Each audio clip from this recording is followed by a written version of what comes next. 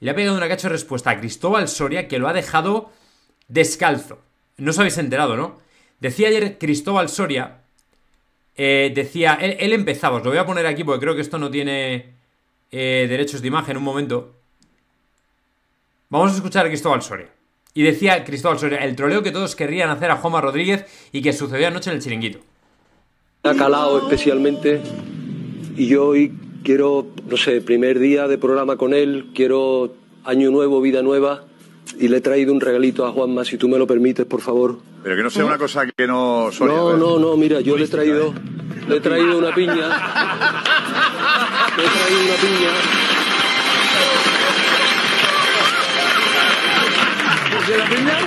Por favor, permítemelo.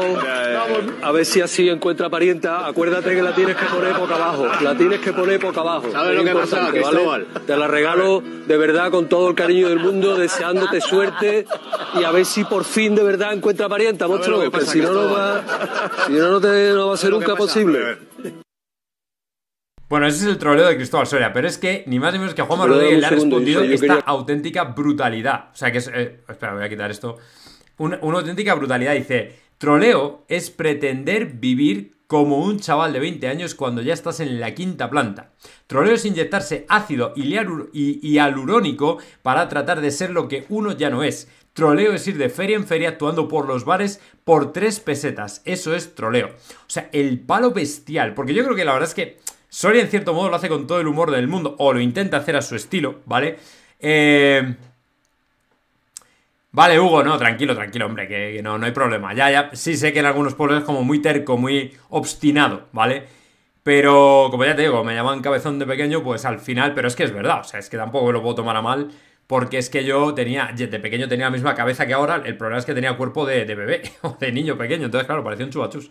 Pero bueno, independientemente de esto, el asunto es que, claro, al final Cristóbal Soria pues tiene ese humor tan especial y, el señor Juan Rodríguez al final es que reparte de una manera espectacular, ¿eh? Y ayer la que le dio a J. Jordi también fue, bueno, ya lo habéis visto en el vídeo, ¿no? O sea, la que le dio a J. Jordi fue para, para encerrarse en el baño, ¿vale? Pa ya, pero yo creo, Liebre, que al final el tema del ácido hialurónico y el botox y todo esto lo hace un poco también por el rollo de. Un poco por el rollo de. Que ellos ya tienen tan, tanta. ¿Cómo os diría?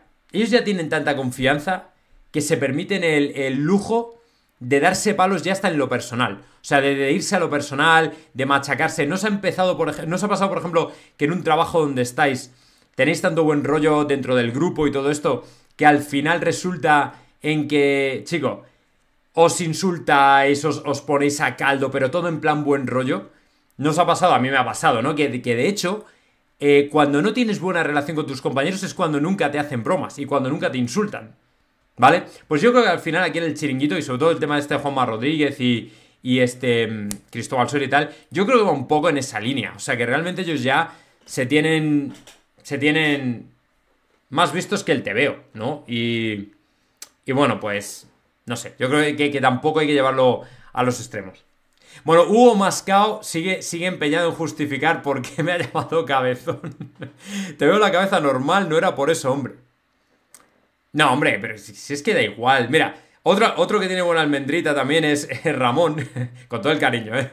Pero, pero la verdad es que tampoco le veo. Yo me veo más cabeza que Ramón, pero, pero le da, a la gente le ha dado por llamarle cabezón yo creo por, por rimar con el apellido, pero no, no porque realmente tenga una almendra espectacular. Pero chico, que yo no sé. Sí, sí, hombre, es verdad que la, respuesta a Homo parece un poco como si estuviera herido. Como si le hubiera dolido un poco. Pero los repasitos que le joder, el repaso que le hizo a J, a J. Jordi cuando le explicó la temporada del Barça pinchando los globos sea, es que no hay mejor manera. Yo creo que tienen que pensarlo antes de entrar al chiringuito. Yo creo que Juanma dice, hostia, ¿cómo le puedo dar duro a este tío en base un poco a lo que he visto en el terreno de juego del Barça? Y es que pinchar un globo es la mejor manera de representarlo, si lo pensáis bien. Es como que ellos vivían de alguna manera. Eh, vivieran en una burbuja donde por ganar 5 o 6 partidos de liga ya se creen, bueno, ya han ido a canaletas y todo, y de repente llega un Mónaco un Mónaco, ¿vale? Un equipo random de la, de la, del nuevo formato Champions. Y dices tú, y, les, y les gana en el Gamper y les gana aquí. Y dices tú, hostia, si les llega a atizar un Bayern de Múnich, ¿qué me cuentas? Es que sería la hostia, ¿vale? Sería la hostia. Entonces, bueno. No sé, yo creo que no hay mejor manera de representarlo, desde luego. Dice, te veo la cabeza normal, no sé, J. Jordi es el mayor meme de la historia de la televisión, cada vez que habla queda retratado. Liebre del campo, cabeza para dos cuellos, no pasa... cabeza para dos cuellos, qué cabrones. Yo tengo cabeza olivilla. eh, Dimer Gamboa, una almendra. Eh, Marcos ha sido sus editoriales en su programa El primer palo son bestiales. No, la verdad es que no. No, no, no. Me dice, Juanma hace un humor muy inteligente. Sí, eso es verdad. Arpegiator entre ellos no hay el mismo rollo que con los demás. Cuando ha entrado en lo personal, Juanma le ha parado los pies y no sé buen rollo.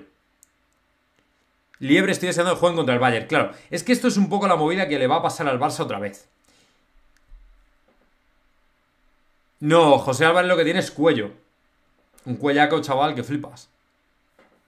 No, yo creo que al Barça efectivamente es que le va a pasar un poco eso, exactamente. Y creo que van por ese, por, ese camino, por el camino de que al final se van a dar cuenta de que, bueno, eh, a ver, yo no niego que el, el Fútbol Club Barcelona esté ahora mismo en un momento en el que creo que están saliendo de un pozo, completamente de acuerdo, pero claro, ellos tampoco pueden ya imaginarse absolutamente fuera de, de los gráficos. O sea, como, como, hostia, nosotros ya hemos pasado lo peor y ahora vamos a ganarlo todo. Es que J. Jordi este con Tony Freisa estaba hablando de hacernos una manita en el próximo partido. O sea, de una manita. Y dices tú, pero este chaval que ha fumado. O sea, una cosa es que tu equipo vaya mejorando, pero otra cosa es la realidad de lo que tienes. Y la realidad de lo que tienes, por ejemplo, es que tienes una plantilla muy corta, ¿vale? La realidad del Barça es que tiene una plantilla extremadamente corta. Entonces, con esa plantilla tan corta, no le va a llegar para alcanzar bien a disputar absolutamente todos los torneos o partidos que tiene que disputar. Y por tanto, antes o después, los jugadores van a petar. Van a petar, ¿vale? Y no van a poder disputar al 100% absolutamente todo lo que tenían en mente, o por lo menos no ser tan competitivos como ellos creen, ¿me entendéis? Sin embargo, yo personalmente creo que al final esta gente cree que por haber hecho 4 o 5 buenos partidos, que no digo yo que, hayan sido malos, bien ganados y todo eso, pero, pero claro, eh, cuidado, cuidado, ¿eh? O sea, tampoco pensemos aquí que, que la cosa ya está hecha y que ya puedes salir a celebrar. Vamos, en absoluto, ¿eh? O sea, es que jugar bien al fútbol y no jugar bien al fútbol, sino ganar, es mucho más. O sea, es, algo que lleva. que conlleva mucho tiempo. Sí, mira, ahora vamos a hablar del tema del City.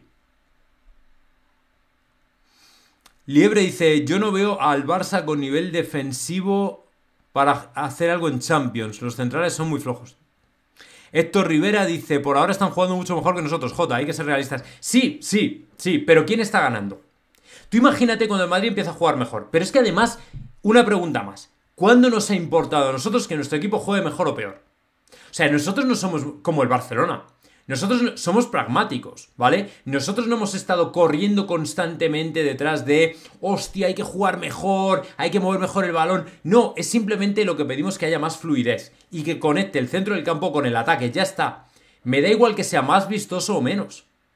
En realidad me da igual no es una cosa que me, que me, que me quite el sueño, ¿me entendéis?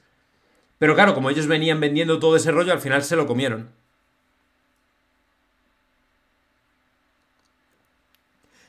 Ya, pero, pero en la liga, lógicamente estamos vivos. Estamos a cuatro puntos de ellos, ¿vale? Hemos tenido un par de empates, perfecto. Pero en la Champions, ¿quién ha ganado? ¿Y quién ha perdido? Al final es que, ya digo que, no sé, hay que tener un poquito más de perspectiva a la hora de evaluar todo esto, ¿no? Porque... No sé, yo tengo ahí mi, mi, mi punto de vista.